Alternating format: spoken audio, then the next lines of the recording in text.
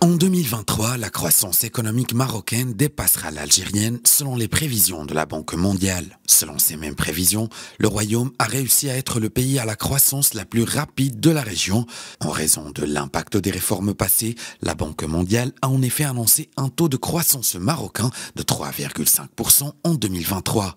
En comparaison, l'Algérie devrait connaître une croissance de 2,3%.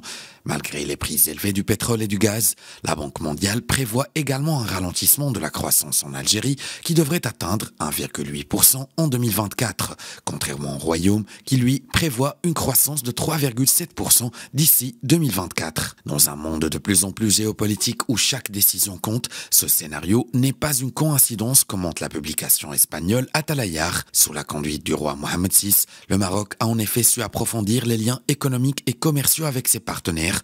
Le Maroc demeure fort de plusieurs atouts, notamment sa position géographique unique au carrefour entre l'Europe, le Moyen-Orient, l'Afrique et l'Amérique, des infrastructures aux normes internationales et des ressources humaines jeunes et qualifiées.